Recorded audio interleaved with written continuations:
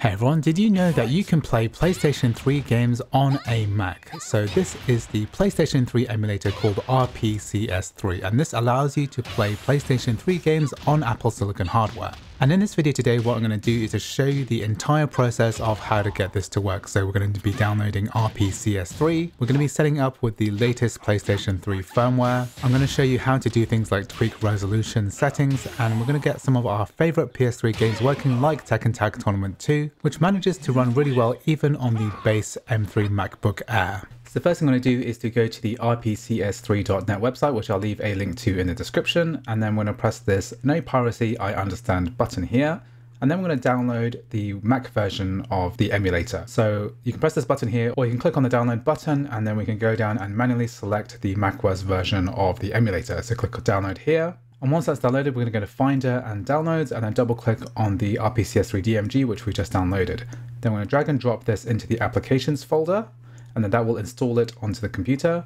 And then we're going to go to applications. And then if we scroll down on this list until we find RPCS3, then we can go ahead and double click on this now. Here it's saying that RPCS3 is an app downloaded from the internet. Are you sure you want to open it? Press open. So next we have this welcome screen here. So there is a button here to open up the quick start guide, which is going to go through some of the steps that we're going to go through today. What we're going to do is to click I have read the quick start guide and then press continue. Now the emulator has opened up. So the next thing that we need to do is to install the firmware. So what I'm to do is to leave a link in the description for the PlayStation website where the PS3 system software update is available to download. We're going to be downloading the 4.90, which is the very latest at the time recording. And then we want to use this button here, update using computer. And then we have a link here which says download PS3 update. So just click on that. If you have any trouble downloading it, if you have any trouble clicking the button, you can always control click and then open the link in the new tab and it should download. So this is the file that we want, ps3 updat.pup.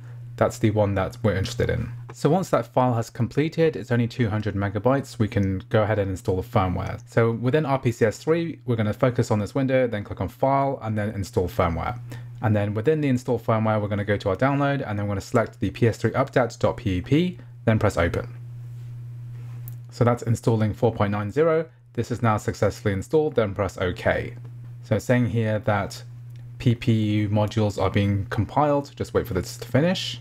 So once that's done, we're going to go ahead and add some games. So I'm not going to show you where to acquire games from. You should really be doing this from a jailbroken PlayStation 3, or you can find the ROMs online quite easily. The format of these games are basically these kind of unpacked folders. What we're going to do is test out one of my favorites, Tekken Tag Tournament 2, and it comes in this kind of file format here. There's a PS3 underscore game, and then we want to load up the folder here. So I'm going to press open on our RPCS3 and then navigate to the folder where we're going to keep our games. And then I'm going to find Tekken Tag Tournaments. In the root of that folder with the SFB file and then the PS3 underscore game folder, I'm going to press open. And then that's automatically loaded up. So it's got the entry here. And then this is configuring at the moment. So in order to play PlayStation games, I do recommend using some kind of PlayStation style controller. So I've got my DualSense controller here. You can also use an Xbox controller or any other kind of compatible controller and just go ahead and go to Bluetooth settings and then pair it up. And then within the RPCS3 settings, we're going to go to pads. On handlers, we're going to go to DualSense, select DualSense, and then it's automatically detected. We have the DualSense pad 1 here. So press save. So anyway, once the PPU modules have been compiled, we are ready to play the game with our controller. So once the game's SPU cache, etc. have all been compiled, then we're ready to play the game. So just be aware, it's going to be a bit stuttery until the shaders have been compiled. And now I'm going to use a controller to continue playing the game. So we're going to press the X button. It's going to install game data. This will depend on the game that you're using. So we're going to continue, and then it's going to create some game data. And now we're ready to play.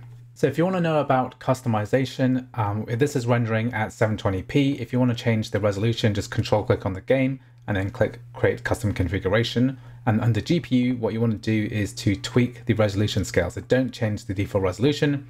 You want this to scale up. So let's say we put this at 150%, that'll put this at 1080p. You can put it higher as well. If you want it at 4K, that'll be 300% but that's going to put it down to 1080p and then press save custom configuration and then just go ahead and reload the game. So just reload this for 1080p and basically you'll find that this is running at 720p but if we full screen this this will run at 1080p. So this is the metal HUD. If you want to figure out how to actually load this up, you can click on the link in the description for my tutorial video.